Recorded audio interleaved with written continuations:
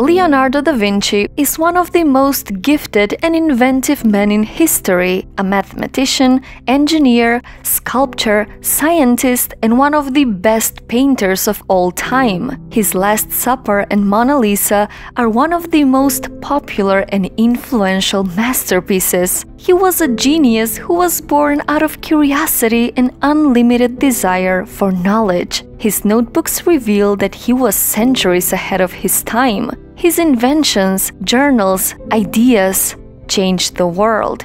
Many people don't know that Leonardo da Vinci struggled most of his life. Can you believe that he considered himself a loser, someone who had failed in life? Like me and you, he faced rejection, failure, and self doubt. This is the success story of Leonardo da Vinci, the great procrastinator who changed the world. Leonardo da Vinci was born in 1452 in a village near Florence. His father was a notary and his mother was a local peasant. He was an illegitimate child. The interesting thing is, Leonardo da Vinci, one of the most gifted and inventive men in history, never had any kind of formal education, no degree in any field. He did receive some basic instructions at home in subjects such as reading, writing, and math, but his incredible knowledge was a result of spending his time outside, observing and studying the nature itself. His way of thinking was born from his curiosity and his unlimited desire for knowledge. At the age of 15, Leonardo da Vinci became a trainee under the famous sculptor and painter Andrea del Verrocchio. Around this time began his lifelong obsession with the human body. There he received training in painting, sculpture, and mechanical arts, and this helped his incredible imagination, which led to the birth of his amazing inventions. But Leonardo da Vinci became known for being unable to finish a task. And as a freelancer, that is not a good quality. One time he was hired by monks to create an altarpiece called Adoration of the Magi. In his initial sketch, we can see that there are so many details.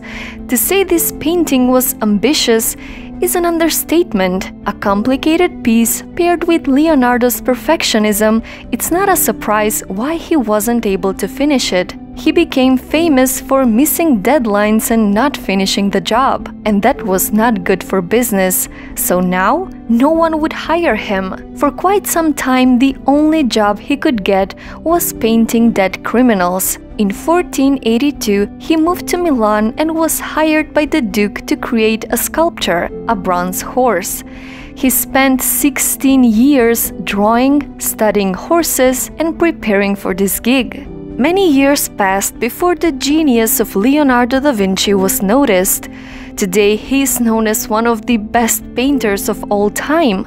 But did you know that he was 46 when he completed The Last Supper? Despite excelling in everything, from science to sculpture to painting, he considered himself a failure, a disappointment. He had so many interests but spent too much time planning projects and procrastinated on actually finishing his projects. Many scientists believe that Leonardo da Vinci may have suffered from ADHD. But unfortunately, it's impossible to know for sure. But one of the most common reasons for procrastinating is the fear of failure. Here is how a day of a procrastinator goes. Let's say I have a task to finish by the end of the week, and it is so overly complicated in my mind that I don't know where to start. So, I don't start right away, but I only worry about how many things I have to do. I don't do anything, I just worry. Days go by and the deadline approaches. My panic, paralysis, and anxiety go higher and higher.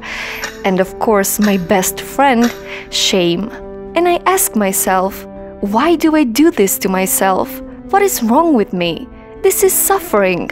Procrastination is a way of coping with emotions like insecurity, self doubt, low self esteem. The first step to breaking the cycle of procrastination is to recognize that perfection doesn't exist.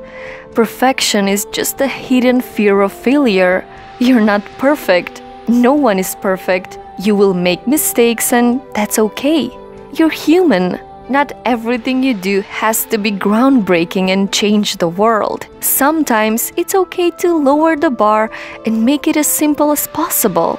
Take your task and break it down to the smallest pieces so it's not overwhelming for you. Set the timer for 5 minutes and work until the timer goes off. Take a break and repeat. By the end of the day, you're going to have so much more self respect, and that is the biggest reward. Action will destroy your procrastination, even the smallest one. Just tie your sneakers, do one push up, read one page before bed, and remember while we waste our time hesitating and postponing, life is slipping away. So, what's your story?